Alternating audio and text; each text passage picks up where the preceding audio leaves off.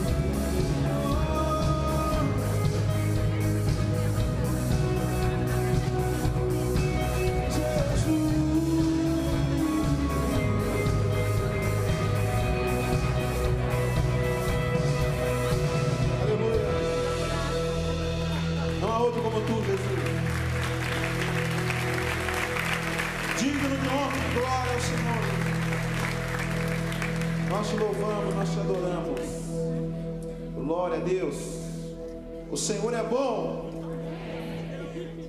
Deus é maravilhoso. Não há nada melhor do que estar na presença dEle.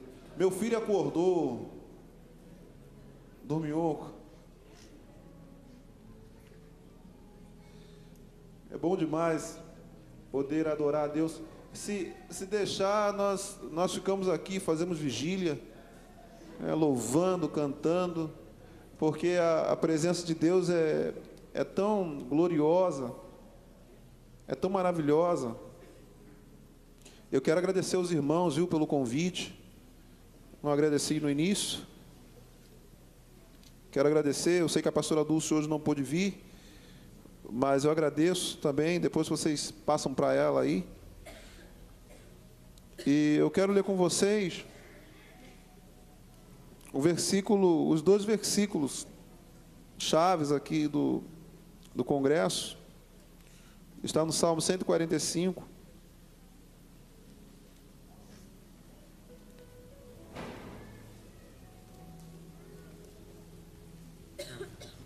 Vamos fazer o seguinte.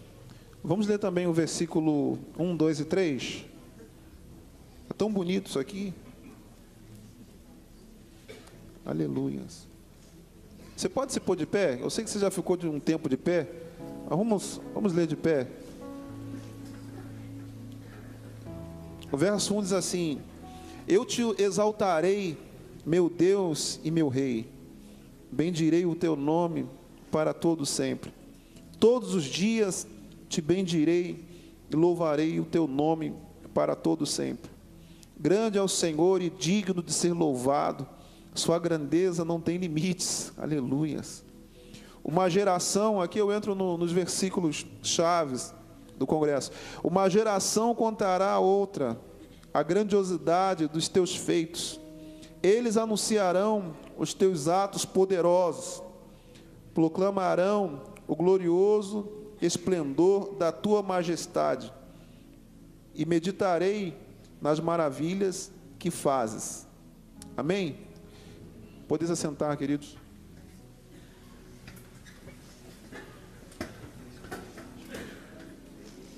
Eu confesso que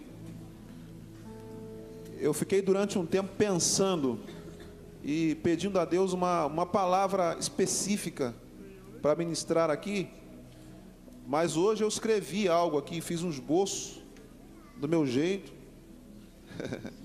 para que eu pudesse entender, e o Senhor me deu um, um tema para essa mensagem, que é o alinhamento de gerações através do Evangelho. Eu acredito que esse alinhamento que Deus quer trazer para a igreja de gerações, nós estamos em um congresso que é que tem como tema unindo gerações. Eu acredito muito que o Senhor quer trazer um alinhamento, porque todos têm sua importância, todos, independente da sua idade, têm a sua importância para a expansão do reino de Deus. Todos. Só que nós precisamos estar alinhados. E eu gostei muito desse, desse versículo que foi escolhido, desse verso, porque diz assim: o 4: Uma geração contará a outra a grandiosidade dos teus feitos. Ou seja, uma geração vai fazer questão de passar para outra aquilo que Deus fez, os feitos poderosos do Senhor. Eu acho interessante, o, o povo da antiga aliança, eles tinham um cuidado muito grande de passar de geração em geração aquilo que eles viveram. Você vê que a Páscoa, os judeus até hoje, até hoje comemoram, celebram a saída do Egito, do povo que foi tirado do Egito, porque aquilo ali foi um memorial que é passado até hoje, de geração em geração. A festa de Pentecostes, a festa dos tabernáculos, tudo isso eles fazem para trazer à memória aquilo que foi feito lá atrás, para que as crianças né, não percam isso. Então, há todo um cuidado para passar aquilo que eles viveram. Só que eu percebo que a nossa geração, né, esse tempo que nós estamos vivendo, temos perdido isso. Nós temos perdido um pouco disso. Você quer ver uma coisa? A família. Há um tempo atrás, e não tem muito tempo, os encontros eram mais contínuos aqueles encontros de família, que está a avó, o, o bisneto lá, o neto, todo mundo, os tios, todo mundo junto. Parece que essa correria que nós estamos vivendo hoje tem roubado os bons costumes. Só que existem coisas, existem princípios que nós não podemos de maneira alguma deixar passar. E é por isso que eu gostei muito disso, unindo gerações, porque eu acredito muito nessa junção. Eu acredito na junção. É, a mesma coisa eu, eu, falo sobre os ministérios. Né? Eu costumo dizer que hoje existe, existe muita inveja, muito ciúme, muita briga na igreja, porque é, um não consegue compreender o, o, ministério do outro. E tem o evangelista, tem aquele que tem uma chamada mais apostólica, tem aquele que tem né, o, o, o chamado profético, enfim. E eu percebo que, às vezes, nós ficamos esperando é, é, do profeta uma palavra de mestre, e esperamos do mestre que ele seja como aquele que tem uma chamada mais profética, porque não conseguimos entender que o Senhor ele tem a, a multiforma de agir e ele, ele quer juntar, ele quer fazer com que aquilo que ele estabeleceu venha a ser uma, uma potência na igreja. E da mesma forma eu vejo a questão das gerações. Todos têm uma importância quando se trata de expansão do reino. Agora, a igreja precisa abrir os olhos para essa questão, essa questão do alinhamento. Alinhamento é a palavra certa. Porque senão nós não vamos entender um ao outro. Uma vez um irmão falou para mim que, que ele estava fazendo os cultos de domingo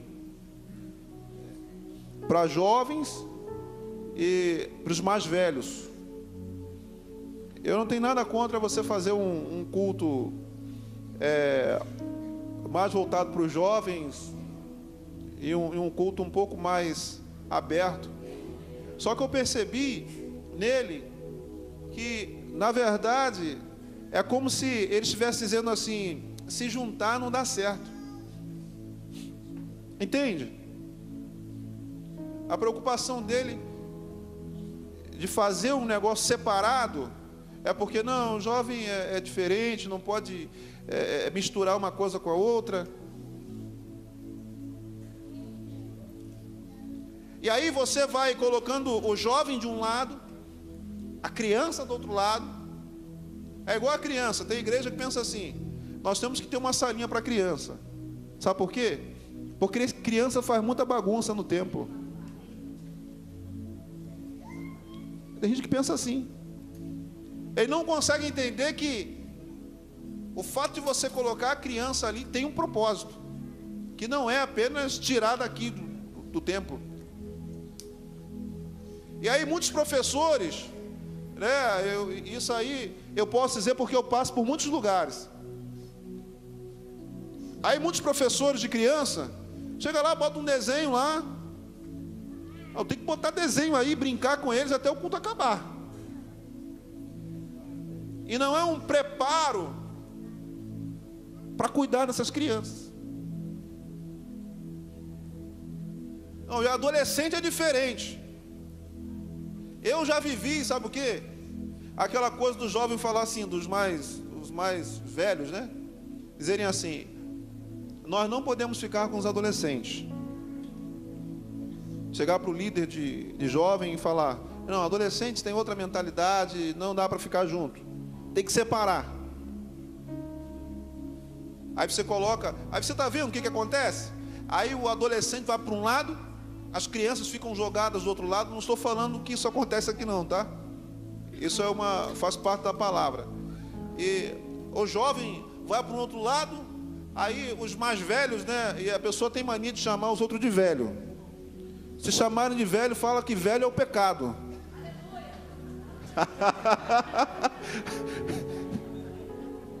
né? É o diabo que é velho. O jovem tem que parar com esse negócio. A pessoa está lá, 80 anos, 90, inteirão, louvando, não, porque é muito velho. Velho tem que, que nada, que nada.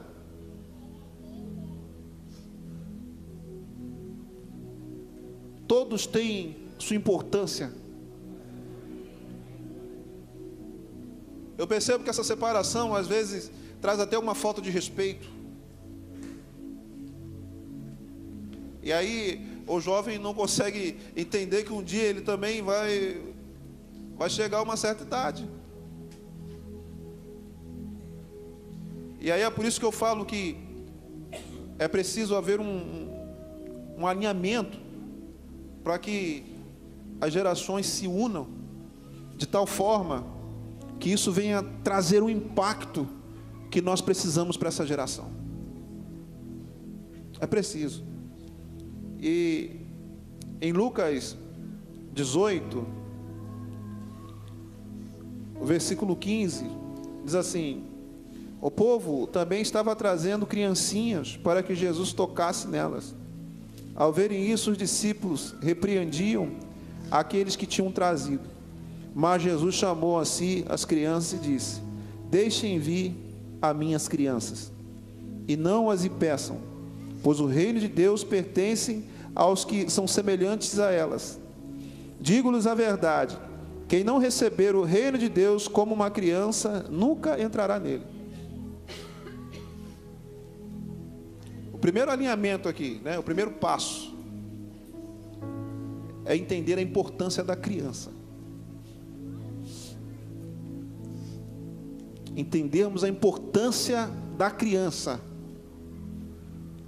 Eu estava meditando nessa palavra e o Espírito Santo começou a falar comigo poderosamente.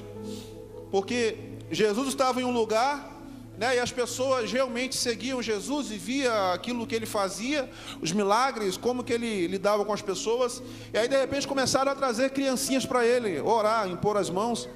E aí os discípulos começaram, não, não, não, não aqui não. Segurar as crianças. Aí Jesus Cristo falou assim: olha, não, não impeçam, não impeçam as crianças. Delas são o reino de Deus. E eu vou dizer uma coisa. Se vocês não receberem o reino de Deus como elas, vocês não entrarão nele. Aí o Espírito Santo falou comigo que nós temos que olhar mais para as crianças, como Jesus olhou. Sabe por quê? Porque o adulto já está com HD cheio. Nós já recebemos muitas informações. Eu já recebi muitas informações. Agora, criança não. Os judeus, com seis anos, a criança já, já começa a ler a Torá. Com dez já está decorado. E aí tem aqueles que, que ficam sendo cuidados né, pelos mestres. E, e esses que ficam ali, os que se destacam, com 13 anos, eles já estão discutindo aquilo que receberam do seu mestre, que é o jugo que eles receberam do seu mestre. Aí você vê a importância que eles dão a essa questão de investir na criança. Seis anos. Aí Jesus começou a falar comigo assim, o Espírito Santo começou a falar comigo que a igreja precisa olhar mais para a criança. Porque ali você tem um HD vazio. Você começa a semear ali. Eu fico vendo as pessoas pensando assim: ah, mas o Brasil vai mudar, porque é, os governantes vão, vão mudar, vão se converter. Deixa eu falar uma coisa. O brasileiro fica olhando para Brasília, mas o nosso país ele é conhecido pelo jeitinho do povo, jeitinho brasileiro. Nós falamos da corrupção de Brasília, dos deputados, falamos do, dos governantes aí, mas não conseguimos entender que nós precisamos, na verdade, é de investir nessas crianças para que a próxima geração ela seja mais leal, Eu posso dizer para você, eu posso afirmar para você que essa questão de mudança na nossa nação está ligada ao investimento nas crianças. Eu afirmo isso aqui. Porque hoje as pessoas dão um jeitinho para tudo. Para numa blitz, ah, a primeira coisa que a pessoa diz é o seguinte: vai um cafezinho,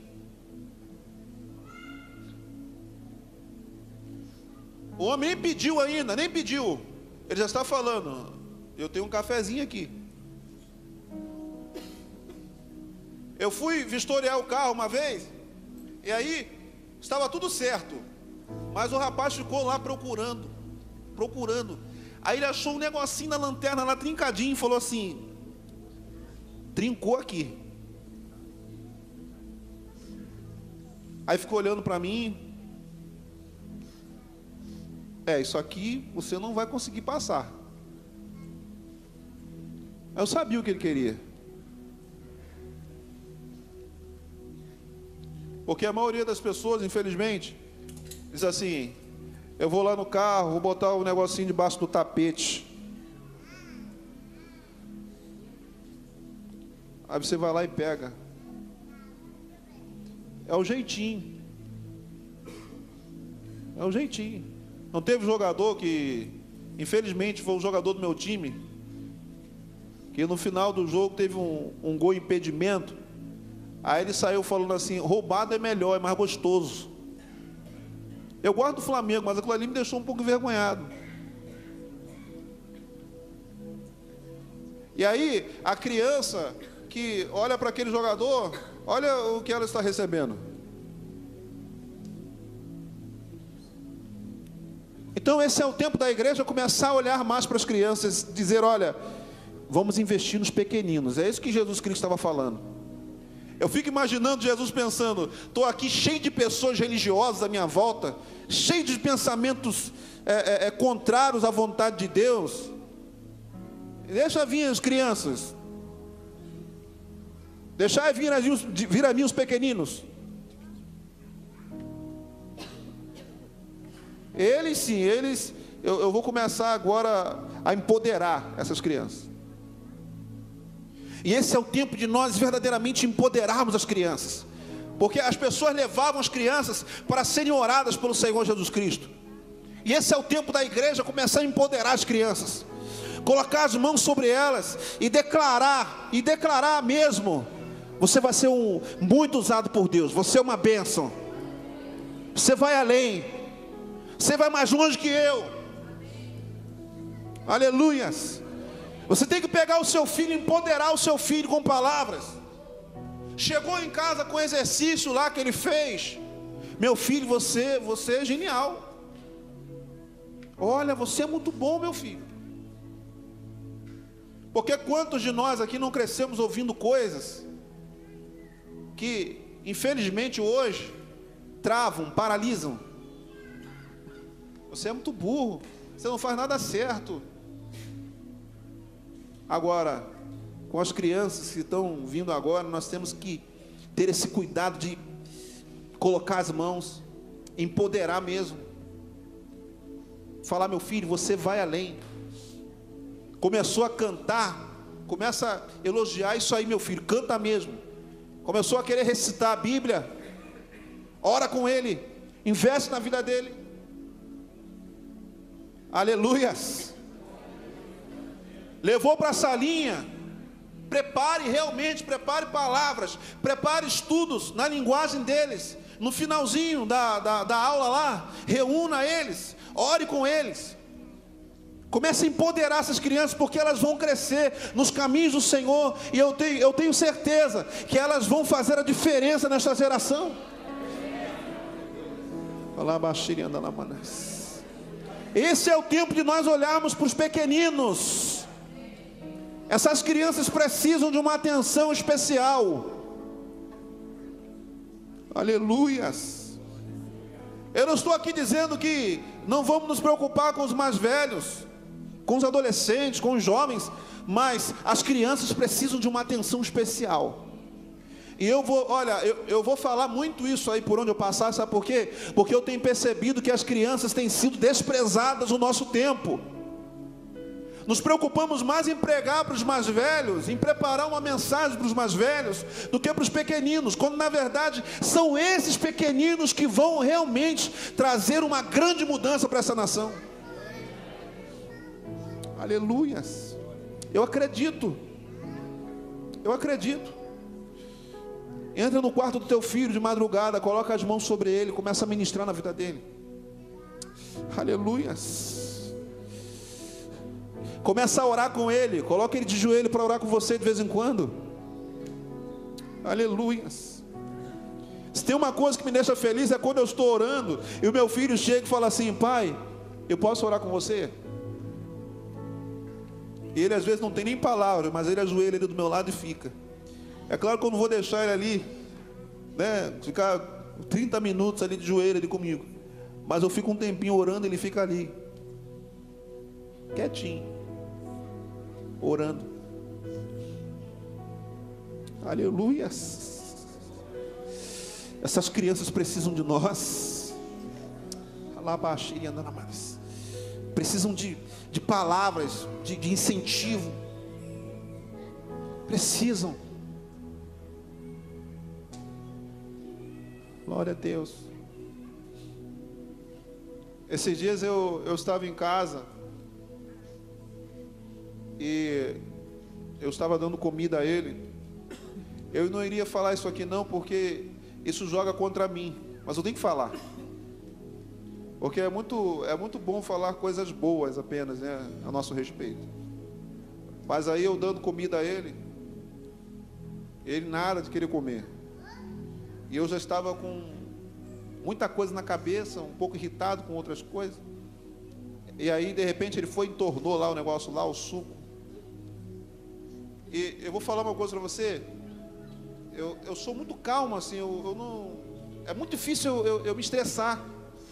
Sou muito calmo. Mas naquele dia eu estava em um nível de estresse tão alto que ele entornou aquilo. E aí saiu aquela palavra com, com M.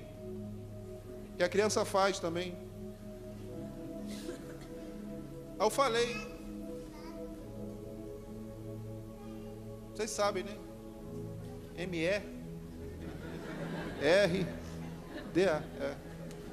Não falei. Aí na hora me veio aquela coisa. Por que, que eu fiz isso? Mas passou. Daqui a pouco a minha esposa está lá fazendo algo na sala, brincando com ele. Ah, eu não sei o que aconteceu. Que ele foi e falou, Aldão. Aí a minha esposa, estranho isso, né, Reginaldo?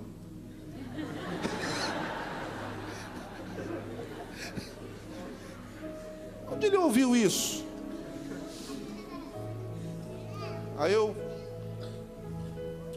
Aí eu lá na minha. É, onde você ouviu isso, meu filho? Aí ele foi, olhou para mim.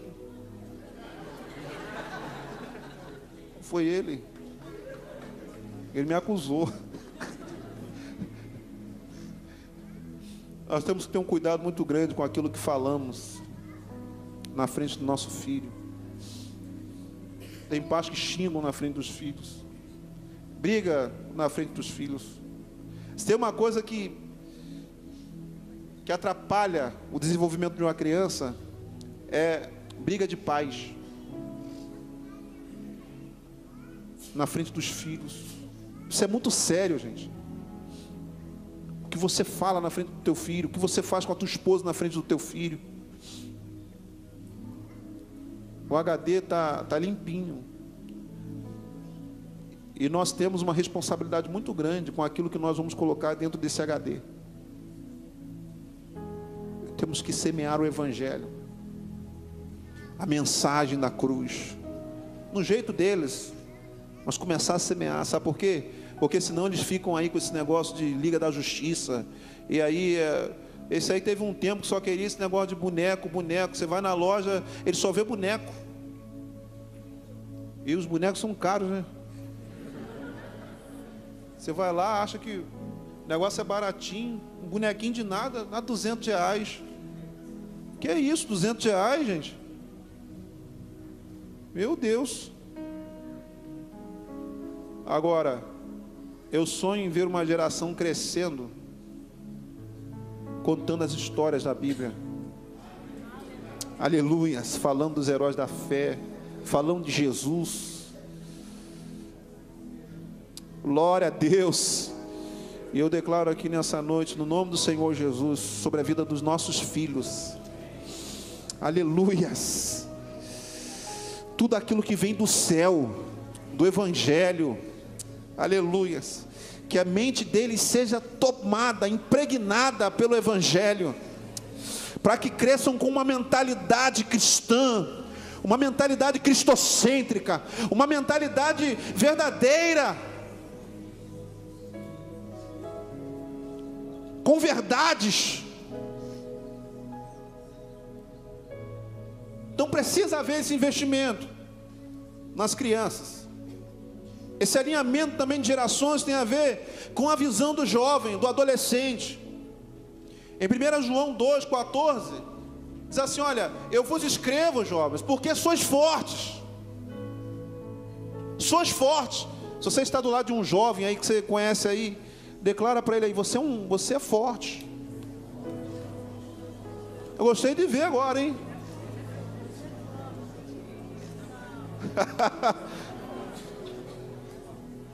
Sois fortes. Deixa eu falar uma coisa aqui agora para os adolescentes e para os jovens. Promessa é o meu filho. O meu filho é uma promessa. Agora, esse negócio de adolescente ficar se enxergando como promessa, não. Enquanto você se enxergar como uma promessa, você não será uma realidade. Ah, não, um dia eu vou ser igual meu pai. Eu vou, quando eu tiver determinada idade, eu vou, eu, eu, eu tenho talentos, eu sei falar, eu sei, eu vou. Não. Chegou o tempo, é agora. Eu vos escrevo porque sois fortes. Sois fortes. O apóstolo Paulo ele disse para Timóteo, em 2 Timóteo, no capítulo 1, né, do versículo ali 5 ao 7, o apóstolo Paulo ele, ele já está chegando no fim da sua carreira, e ele pega Timóteo e começa a empoderar Timóteo. Aí ele fala da fé que tinha a avó de Timóteo, a sua mãe, e ele fala para Timóteo assim: Olha, você não recebeu um espírito de covardia mas um espírito de amor, de moderação, intrepidez, ousadia. Ele estava falando para um jovem. E deixa eu falar para o jovem aqui nessa noite. Todos que se consideram jovens. Primeiro, vocês são fortes. E não receberam um espírito de covardia, mas um espírito de amor, de moderação, de ousadia então não tem esse negócio de que, ah, não, eu, eu sou jovem ainda. É, Deus quer te usar nas faculdades. Deus quer te usar na escola. Deus quer fazer coisas extraordinárias através da sua vida. Esses dias eu vi um vídeo de um garoto, um garoto, ele devia ter uns 16 anos de idade. Ele numa praça, uma praça cheia de jovens. E aquele garoto anunciando o evangelho. Eu falei: é isso. É isso. Tem lugares que eu hoje não vou conseguir entrar mais, mas o adolescente vai entrar. Aleluias. Tem lugar que o teu pai não vai conseguir entrar, que o pastor não vai conseguir entrar. Você tem que entrar com o evangelho, você tem que entrar com a palavra. Mas enquanto você ficar se enxergando como uma promessa, ah, um dia, um dia, um dia nunca vai acontecer. Não amanhã, amanhã, amanhã não é hoje, é hoje. Aleluias. É hoje.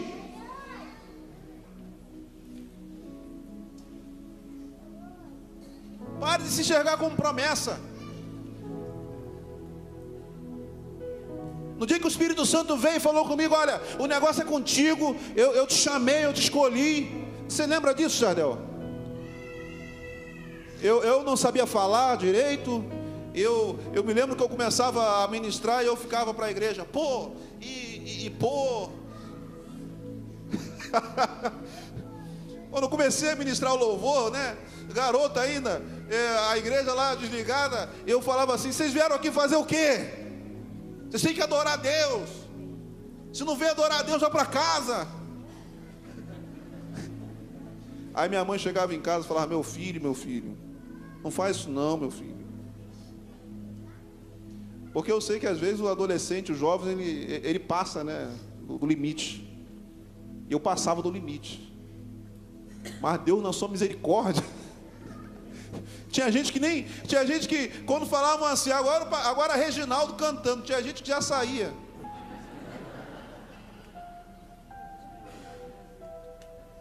Mas uma coisa que Deus falou comigo é o seguinte: se você acredita naquilo que eu depositei na sua vida, você vai falar. Aí minha mãe vinha e falava comigo, Aí eu comecei a entender algumas coisas. Porque no começo é assim, você está muito empolgado, e aí você acaba extrapolando. E eu extrapolei várias vezes. Meu pastor falava comigo. Não é assim, meu filho. Porque eu achava que o negócio era bater na igreja, tinha que bater. Aí eu percebi que a minha mensagem ela já não era mais ouvida, porque eu não tinha credibilidade. Aí eu comecei a, a ser, a ter um pouco mais de sabedoria.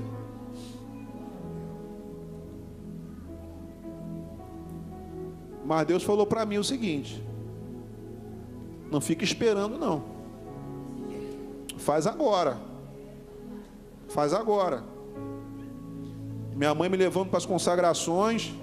Aí eu comecei a ler sobre a autoridade do crente. Eu lembro, eu lembro como se fosse hoje, quando eu comecei a ler sobre a autoridade.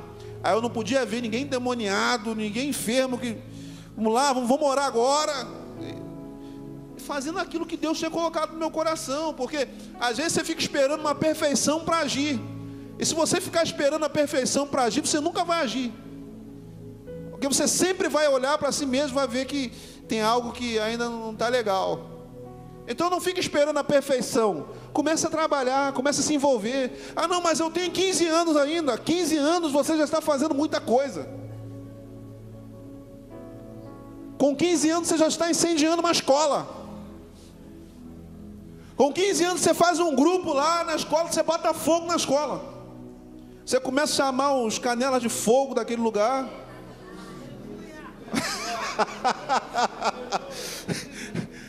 começa a convidar os canelas de fogo. Ó, oh, vamos fazer uma reunião aqui, a gente começa louvando. O pessoal vai vindo e o poder do Espírito Santo vai pegar eles.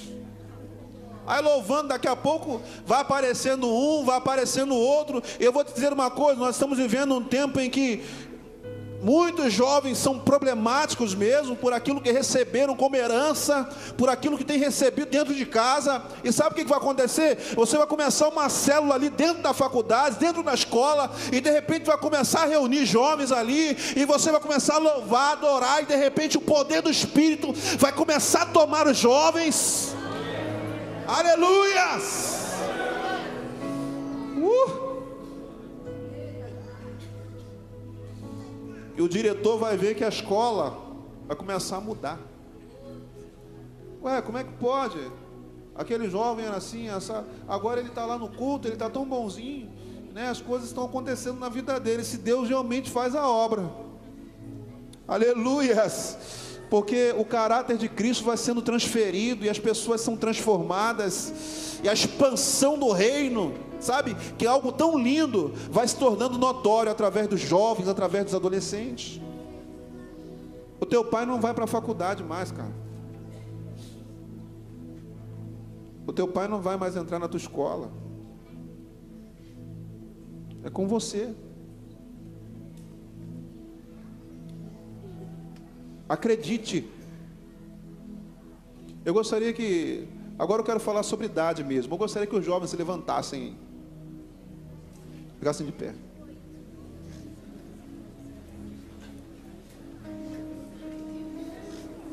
Agora é na idade, agora é na idade, tá?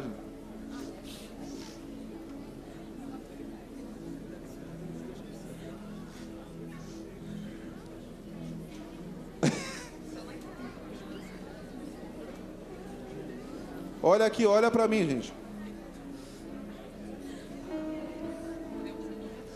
Vamos fazer melhor, vamos fazer melhor aqui. Isso aqui é.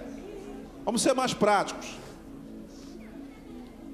Eu, agora eu estou falando da idade mesmo, tá, gente? Me perdoa, eu tenho que.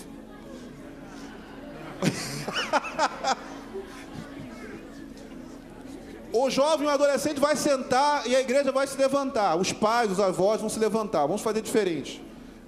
Senta aí. Você que está do lado de um adolescente, aí, do lado de um jovem, você vai estender as mãos para a vida dele. Pais, avós, aleluia. Oh, existe algo acontecendo aqui no reino do Espírito. Oh, aleluias. Nós queremos agora, Senhor, através da tua palavra, empoderar esses jovens. Ore canta na. Declarar sobre eles, Senhor Deus, a intrepidez do teu espírito. Oh! Para que eles se levantem aonde estiverem. Que eles se levantem aonde estiverem, como sacerdotes do Senhor. Aleluias e que vidas se rendam a Ti, Jesus, através desses jovens. Nós repreendemos agora todo tipo de fortaleza na mente. Esse jovem que cresceu ouvindo que a sua vida não daria nada. Esse jovem que cresceu ouvindo que era um vagabundo, que não tinha futuro. Nós declaramos agora sobre eles uma outra palavra. A palavra que vem de ti que em ti eles são mais do que vencedores, que em ti eles são novas criaturas, que em ti eles são filhos de Deus. Poder do Espírito Santo envolva esses jovens.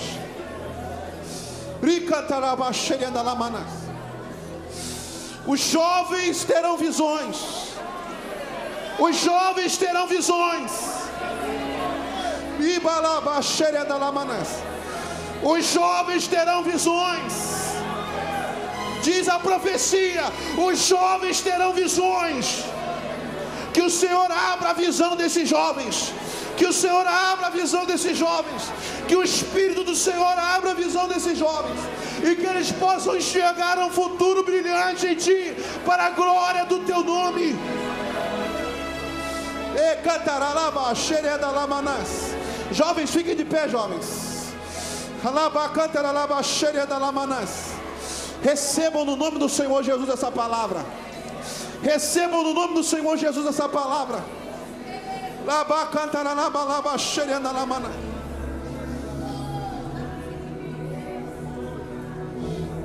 É uma unção poderosa aqui nesse lugar. Orebalabasheria da lamana. Aleluias. Você é pai, empodere teu filho com palavras.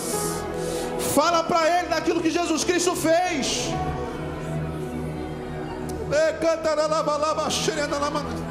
Diga para ele, meu filho, você não vai ficar no meio do caminho, porque Jesus Cristo um dia venceu. Meu filho tem de bom ânimo.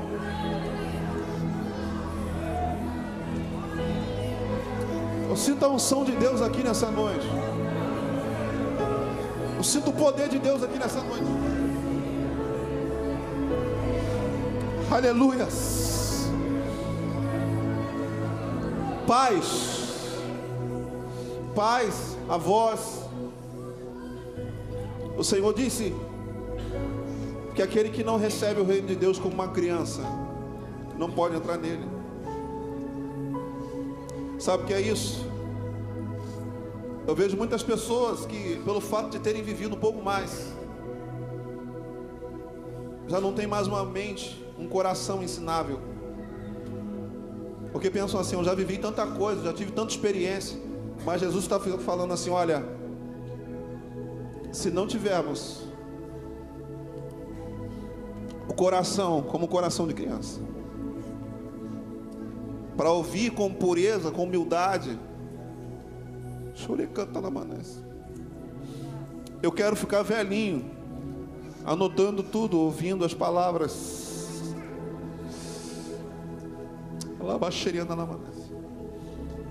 Eu fazia um culto lá em Botafogo toda quarta-feira. E a irmã que me ajudava ali na oração, a minha grande evangelista, de 89 anos. Ela enchia aquele lugar de pessoas. Mas eu, eu ficava meio constrangido quando ela falava assim: Meu filho, ora por mim, meu filho. Eu quero mais de Deus. Oh. Às vezes a pessoa tem, tem 40 anos e está dizendo assim: Eu já ouvi tudo que eu tinha para ouvir. E Deus cheio de, de palavra de, de sabedoria pastor ministrando aqui e a pessoa está ali, ó, não recebe nada. Porque a criança, ela recebe com pureza, com humildade. Você está falando para ela e ela, ela toma posse daquilo porque ela entende que você tem algo para dar ainda para ela. Ela diz: É isso mesmo, é assim. Agora nós, eu vou falar 40 anos, não, com 30 anos, eu estou com 32 anos. Quantas vezes eu me vi diante de alguém pregando, com meu coração fechado, com aquela coisa de que, ah, eu só já ouvi. E Jesus está falando assim: olha, aquele que não recebe o reino de Deus como essas crianças, porque aqueles fariseus que estavam ali à volta, tal, eles tinham dúvidas. Não é esse Messias, ficavam tentando provar Jesus. Não é ele e tal.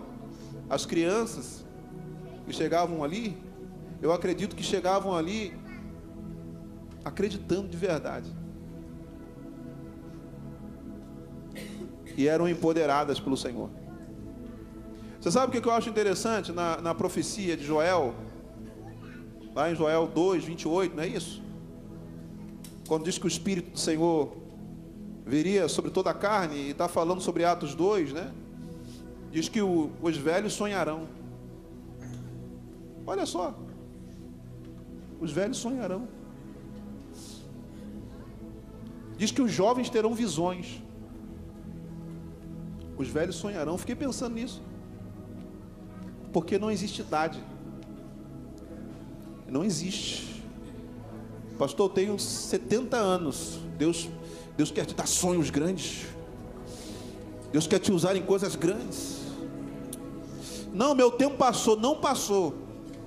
Se a gente entender essa questão do, do alinhamento que eu, que eu estou falando aqui, investimento na criança. O jovem ele vai entrar em lugares que nós não vamos entrar mais. Isso é uma verdade.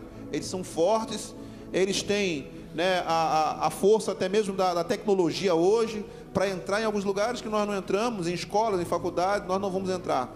Mas os velhos sonharão.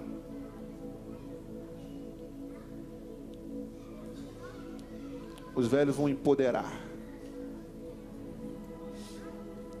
As crianças eu nem preciso dizer, olha, ouça fulano, ouça ciclano, ouça ciclano. Mas os jovens, adolescentes, eu preciso dizer, olha, ouçam os mais maduros. Ouçam, respeitem, respeitem. Ah, não, ele sabe menos que eu. Respeite. E você que é mais maduro, não feche seu coração para as revelações do reino. Se veja como uma criança e comece a comer da palavra. Que a sua mente se abra hoje, você começa a sonhar. Aleluias. Eu declaro aqui com pessoas, pessoas que estavam até mesmo paradas, sabe? Que já foram tão usadas e hoje já não estão mais envolvidas. Eu quero declarar aqui no nome do Senhor Jesus que essa palavra vai entrar, vai penetrar, e essas pessoas vão começar a se mover. Vão começar a se mover. Aleluias. Eu vou, eu vou além. Eu quero declarar aqui que você vai começar a ver coisas que você nunca viu acontecer no teu ministério, na tua vida. Pastor, mas eu já tenho 70, 80, não importa, você vai ver coisas que você nunca viu. Aleluias! Aleluias! Eu quero ver crianças profetizando. Oh, aleluias! Eu quero ver crianças com a palavra na ponta da língua. Porque a criança pega mesmo. A criança pega, mas nós precisamos dar para elas, dar para elas. Daqui a pouco elas estão falando do evangelho, profetizando, profetizando. E os jovens rompendo de uma maneira extraordinária. E os mais velhos, mais maduros, dando a esses jovens, dando combustível, investindo neles, orando por eles, orando, orando, liberando a palavra. Assim como a minha mãe falava para mim, meu filho, vai devagar. Deixa eu te falar uma coisa, jovem. Olha, a tua mãe e o teu pai já viveu mais que você e sabe. Então para com esse negócio de que, ah não, meu pai é muito velho, meu pai, e essas ideias dele, para para ouvir. Esse alinhamento vai nos levar a um crescimento extraordinário em Deus. E agora eu quero orar para finalizar essa palavra. Mas eu gostaria que. Eu quero chamar os jovens aqui na frente. Vem cá. Todos os, os jovens. Se as crianças estiverem aí também, tem criança, tem salinha aí.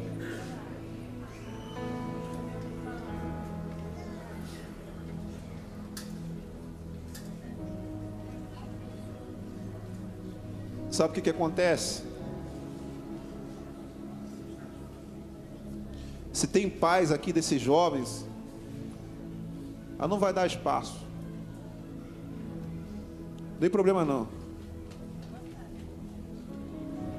Nós vamos nos unir aqui em oração. Aleluia. Os jovens terão visões. Os jovens terão visões. Oh, aleluia.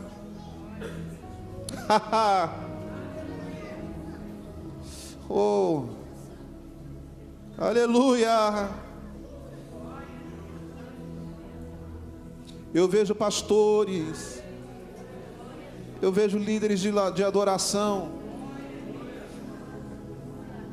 eu vejo médicos, advogados,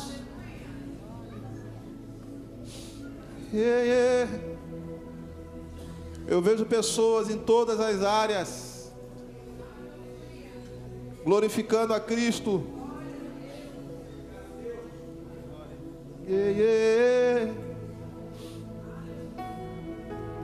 Jovens tendo visões. Aleluia. Você sabia que algumas coisas que eu vejo, que eu vivo hoje, eu sonhei um dia, eu tive visão da parte de Deus. Deus me mostrou como seria minha esposa, como seria minha família. Deus me mostrou o que eu faria hoje. Sabe o que é isso? Os jovens terão visões. Oh. Você sabe o que, me incomoda? É quando eu vejo jovens que não têm, não, não sabem o que, que querem. Não sabem para onde, onde vão. Infelizmente, a gente só consegue pensar no, na questão natural ou, ou vou para medicina, ou vou para. Quando Deus está querendo dar visões. Uh!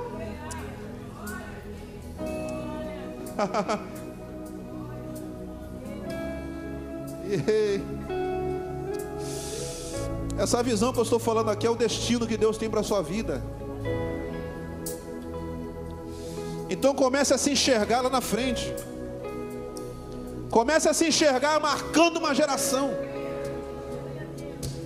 Comece a se enxergar empoderando jovens. Aleluias. Comece a se enxergar verdadeiramente sendo usado por Deus.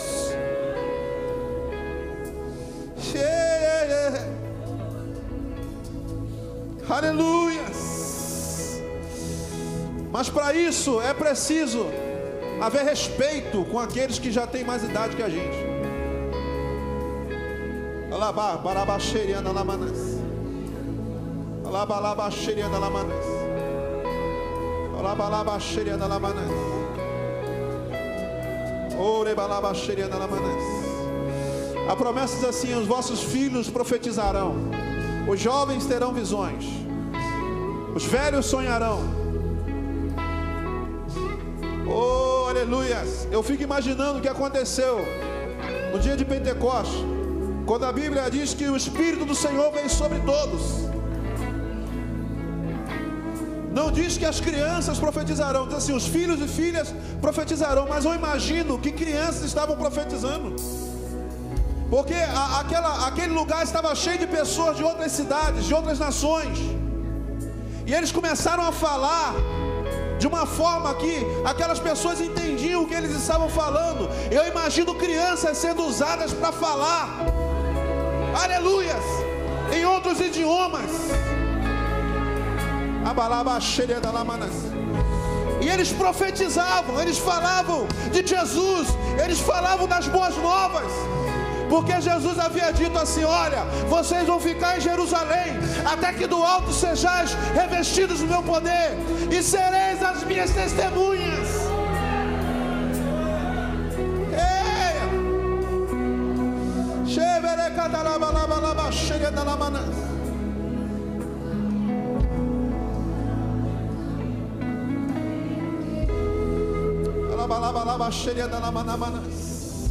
Sereis as minhas testemunhas, sereis as minhas testemunhas, sereis as minhas testemunhas.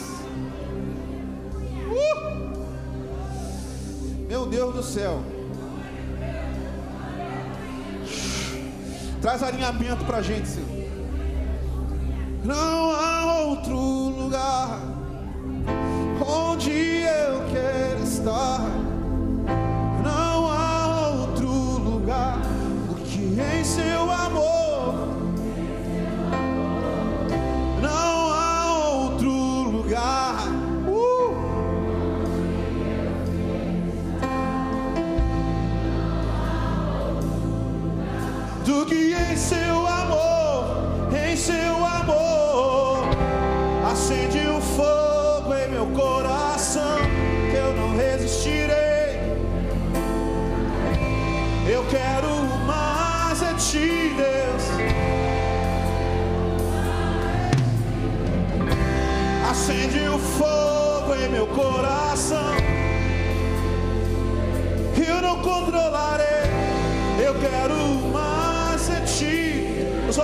pode me ajudar?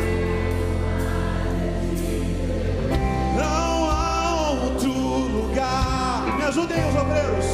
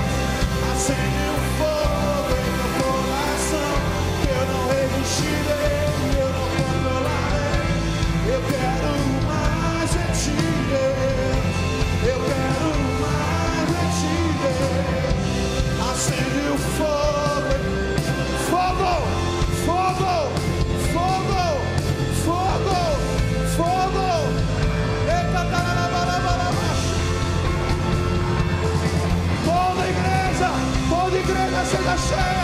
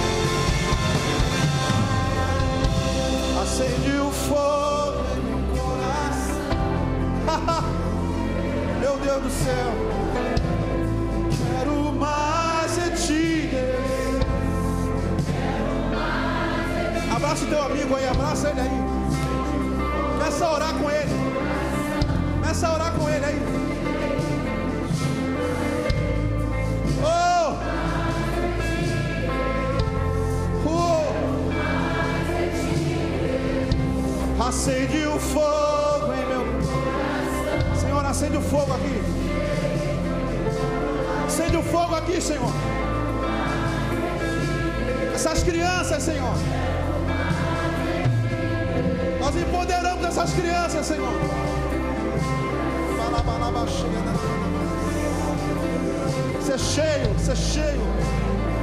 Cheia. Cheia. oh! Uh! Há uma poderosa aqui. Há uma poderosa aqui. Vossos filhos profetizarão. Vossos filhos profetizarão. Os jovens terão visões. E os jovens terão visões. E os idosos sonharão, sonharão, sonharão.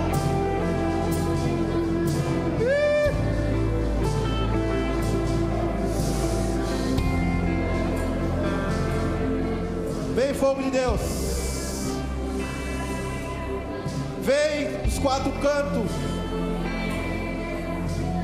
Espírito Santo sopra dos quatro cantos. E o seu fogo se alastra sobre as crianças, sobre jovens, sobre pais, sobre avós.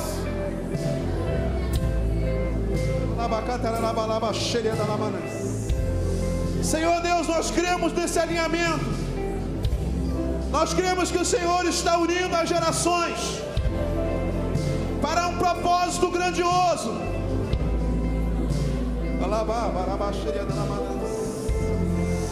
Eu creio que o Senhor está unindo gerações. Aleluia. Oh, oh, aleluia. Senhor Deus, eu quero declarar aqui famílias incendiadas. Os cultos dos lares. Que voltem os cultos nos lares.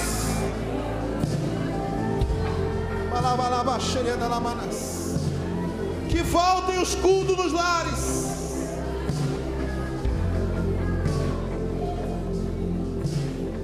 Oh.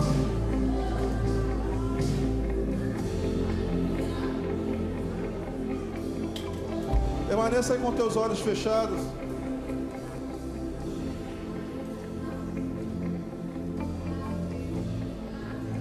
Tome uma posição diante de Deus, diante dessa palavra. Existem coisas que você precisa colocar no teu coração hoje.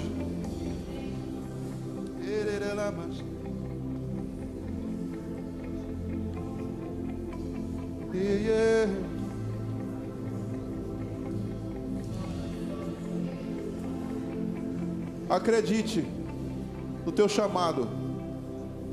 Acredite. Acredite. Acredite no chamado do seu filho, do teu neto. Não diga, ah, ele é mais uma criancinha. Não, não, não. Porque ele vai começar a te surpreender. Não se espante se o teu neto chegar na tua casa e liberar uma palavra sobre a tua vida. Não se espante se ele chegar na tua casa profetizando. Quem tem ouvidos, ouça o que o Espírito diz à igreja.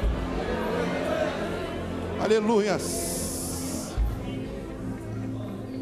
Jovens, não se espantem por verem pessoas idosas voando alto. não se espante por ver pessoas de idade já sonhando grande. Chore e canta lá, manés. Porque essa é promessa. Era, manamas. Pais, não se espantem se os filhos de vocês começarem a ficar trancados dentro do quarto orando e saírem sorrindo. Ei! Não se espante se teu filho começar a querer vir para cá adorar a Deus.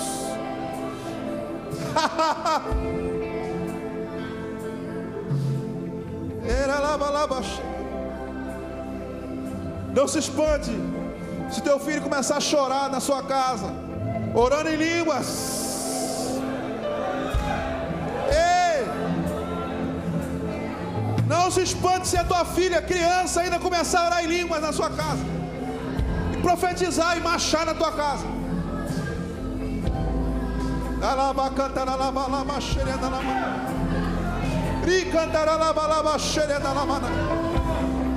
Não se espante, não se espante. Porque a promessa do Senhor, meu Deus do céu, eu vejo jovens aqui sendo destravados,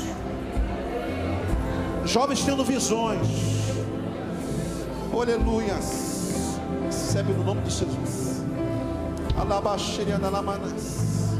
jovens começando a sonhar com a expansão do reino, querendo fazer alguma coisa para a glória de Deus. Aleluias. Fica à vontade aqui, pastor. Passar para o irmão. Se vocês quiserem continuar aqui, podem ficar orando. Quero passar para o pastor. Eu quero agradecer de todo meu coração a oportunidade de estar com vocês. Foi muito prazeroso estar aqui com vocês. E eu, eu creio que Deus vai continuar falando com vocês sobre isso. Quem tem ouvidos, ouça. Aleluias. Não se feche, tenha um coração ensinável, como o coração de criança. Amém.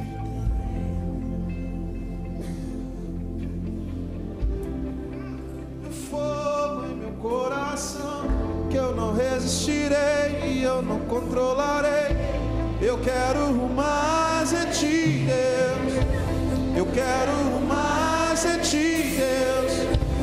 Acende o fogo. Pastor Esteban.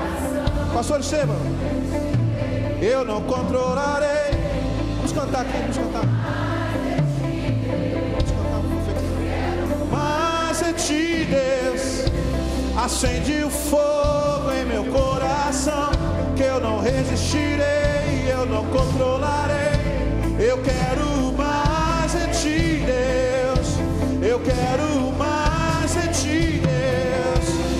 Deus. Acende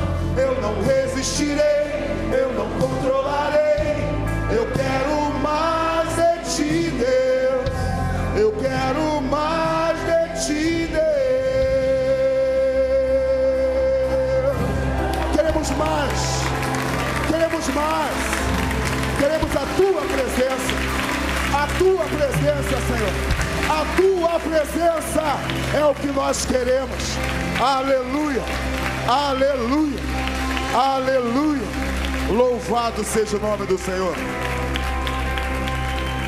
Uh! Oh, queridos, jovens, não cessem, não deixem de falar, simplesmente falem, e vocês vão ver coisas sobrenaturais acontecendo, porque vocês são boca profética nas mãos do Senhor. Amém?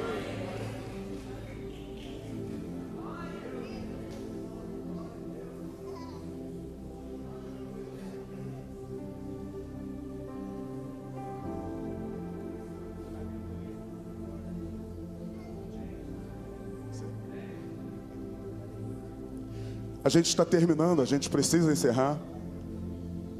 Mas a gente também não precisa encerrar. Amém? A gente encerra aqui. Mas o louvor e a adoração, ela continua. Então você vai, quando terminar o culto aqui, quando a gente parar a reunião, você vai sair por aqui cultuando, louvando, adorando. Vai descer a rampa cultuando, louvando, adorando. Vai chegar na praça de alimentação cultuando, louvando, adorando. Vai andar pelas ruas até chegar em casa cultuando, louvando e adorando. Vai chegar em casa cultuando, louvando e adorando. Vamos voltar amanhã cultuando, louvando e adorando. Amém? Vamos cantar esse louvor? Então a gente vai orar e daqui a pouco a gente vai terminar com louvor, amém? Você pode colocar sua mão no seu coração? Deus, nós te louvamos. Muito obrigado, Senhor Deus, porque o Senhor fala de forma poderosa e fala de forma clara, Senhor, não deixando dúvidas de que o Senhor realmente deseja nos levar a viver uma vida sobrenatural na tua presença. E eu declaro nessa noite, Senhor Deus, que nós estamos dispostos a viver uma vida sobrenatural na tua presença. Por isso, Senhor Deus, nós não nos despedimos desse lugar nós vamos sair desse lugar louvando, glorificando e adorando ao Senhor. Muito obrigado, Senhor Deus, por esse tempo de reunião. Obrigado por essa noite, Senhor Deus. E amanhã estaremos aqui de novo, novamente, nessa mesma força, com esse mesmo, com essa mesma expectativa, com esse mesmo, com essa mesma intenção de se achegar a Ti. Obrigado por tudo, Senhor Deus. Nós te agradecemos em nome de Jesus. Amém e amém. Aleluia.